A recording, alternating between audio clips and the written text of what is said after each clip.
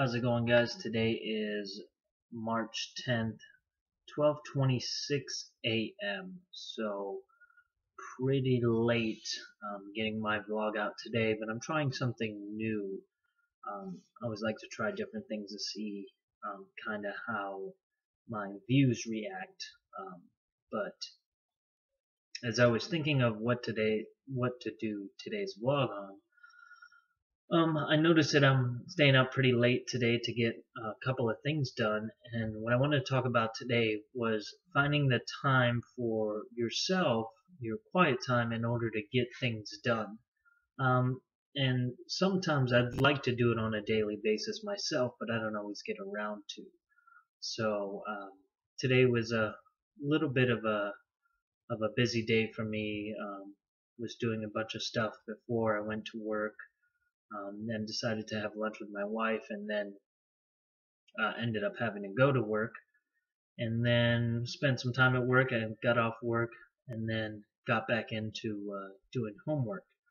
Um, and my wife had to. Uh, my daughter's still out of town, but my wife had to go to bed um, early because she has to be up early. I have to be up relatively early, but not as early as she does. She has to be think it would work by 8 in the morning or something because she started some new training. But uh, the gist of today's vlog is to, you know, identify your time, your quiet time, your peaceful time away from anything, any and all distractions to just really focus in on maybe some stuff that you have to do on a daily basis. Now, depending on how much quiet time you need, really depends on your schedule, your availability, and you know what you need to accomplish for that during that quiet time. So um, for me, I have a you know I got a couple of assignments that are due this Sunday by midnight for uh, college for my university. So I'm trying to um, have a relatively stress-free weekend, so I stay up late sometimes trying to complete those assignments um, during the week. Um, I was looking at a timeline for what I have going on the rest of this weekend, and I didn't really see too much opportunity or too much chance to get those assignments done. Um, I pretty much have um, this evening to get them done, um, and a couple other times before the span of the weekend runs out. Um, but I do have to work along with that, and then trying to plan to do a couple other things in between here and there. But I noticed that there is a, you know, there's a huge demand um, from my time now a little bit more than ever and choosing how I break up that time sometimes is um, you know it, it can be stressful sometimes but most times I just uh, delegate time and create certain time slots in order to complete certain things. And I find my free time my distraction time tends to be mostly at night for me is when I really get to wind down relax and um, sometimes it's relaxed sometimes it's just hone in on getting schoolwork done for myself. So as I was, uh, like I said, figuring out what to do today, I decided to take a break from homework, do the vlog, and then get back into my homework. Probably do two vlogs um, tonight so I can uh, go ahead and knock out tomorrow's vlog as well, um, since it technically is tomorrow. But you have to set aside that time for you, and if you do it on a daily basis, um, just in order to keep your life on track, keep things kind of going smoothly. And in order to progress and keep moving forward, I think dedicating some time to you know yourself and, and to accomplish the things you need to accomplish to keep moving forward um, is very important. For me, um, it's either uh, way early in the morning or very late at night when the rest of my family is sleeping because the house tends to be really quiet. I'm able to concentrate and focus um, when I try to do it during, you know, when my family's up, there's a lot of distractions. I can't quite focus. I can't quite put into the time. Like distraction free time is so much more intense than uh, distraction. You know, having a bunch of distractions while you're trying to complete something, and it takes you, you know, it could take you up to three times as long to complete the same task with distractions. Whereas if you didn't have those distractions, you might be able to complete the task faster. So set a, setting aside some time in order to complete those tasks um, in a more effective manner is, um, excuse me, is crucial to, you know, for me moving ahead and staying on top of things that I need to get done on a daily basis. So find out what times work for you and I'm not talking about necessarily reward or leisure time.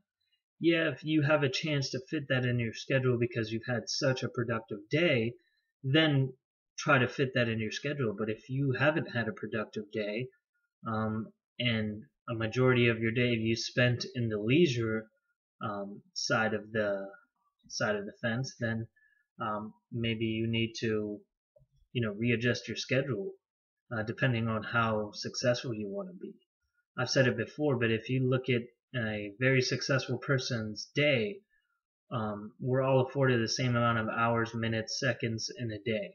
If you look at a very successful person's day, they um, utilize their time to the best of their ability and maximize um, every minute within that day. And they plan, tend, they tend to plan down to the minute of what they're going to be doing every single day because their time is so valuable that they have to manage it very well in order to um, be successful. So that kind of goes hand in hand with what I'm saying, finding that, you know, deliberate time to take care of the things or the quiet time to where you need to concentrate and focus and, and be able to get things done that you haven't been able to accomplish or that you need to accomplish by a certain time frame um, will you know it'll give you the opportunity to do those things if you set aside some what I would call quiet time. Um, and like I said, for me, um, having a kid is it's either very early in the morning or very late in the evening. Like I said, it's uh, 12:33, which isn't um, too too late. Um, but I also, as I gear towards the weekends, I like to groom myself into staying up a little bit later um, because I do have to work, um, you know, uh, long, uh, long and late shifts on Fridays and Saturdays um, from about 4:30 in the afternoon till about 3 in the morning, um, and that's not um, too crazy for some people who have been in that similar situations, um, but it can put a demand on your time. So knowing that I'm not going to have those available time slots to be up the next two evenings, I pretty much have to get the work that I need to get done tonight or the next two days in order to make sure that my assignments are turned in on time on Sunday. And if I wasn't backwards planning in order to see the gaps in times that I have available to get the work done, um, I may be caught in a procrastinative state where I'm trying to figure out how to do everything on the last minute on Sunday. And to me, that's not, I don't really like to work that way and, and be under a time crunch on the last day. Sometimes it works for people and sometimes it has worked for me and I have done it in the past where you procrastinate so much just because it's not important to you. And then you end up wasting a lot of time doing other things instead of just tackling the problem head on when you had plenty of time to do it before. There's many a nights where I stay up till I don't know wee hours of the morning, two, three, four in the morning, and um, I was like, man, like I'd just be sitting on the couch watching some movies or watching um, TV with my wife or, or something, just trying to spend quality time. But I was like, man, if I would have put that time into doing this or doing that, would I, I wouldn't have to worry about doing that tomorrow or stressing about it. So time management is, is very critical. Finding that quiet time on a daily basis will, trust me, it'll give you, um, it, it's almost like some sort of freedom for myself to just get the things that I need to get done that don't necessarily require places to be open. It's just common tasks that take place in my house and gives me the opportunity to help concentrate and focus on those uh, more critical thinking type of uh, uh, tasks that need to be accomplished. So that'll be it for today's vlog. I think I'm going to do a follow-up one here pretty soon, probably within the next couple minutes for tomorrow. Um, because my schedule is going to be very tight tomorrow and I'm trying to make sure that I stay on top of things because I know I'm not going to be able to do it in the evening so I'd have to get it done during the day but I have some commitments during the day as well so this evening looks like it's going to be a busy night for me. So appreciate you guys watching, liking, commenting, subscribing. I believe I'm still at 39 subscribers. Still trying to get to 50 by the end of the month, and I still uh, do firmly believe that that's going to be possible for me. Um, been getting some good feedback from uh, some people now that I work with. Now that I'm starting to share this stuff a little bit more and more um, within the, my circles of friends. So appreciate their feedback too. Sometimes they don't get a chance to leave comments here online, but I do get sometimes uh, a live feedback when I'm out and about in the public and get feedback from people that don't get a chance to leave it. So I appreciate all that as well. So again, I appreciate you guys watching, and I'll see you on the next one.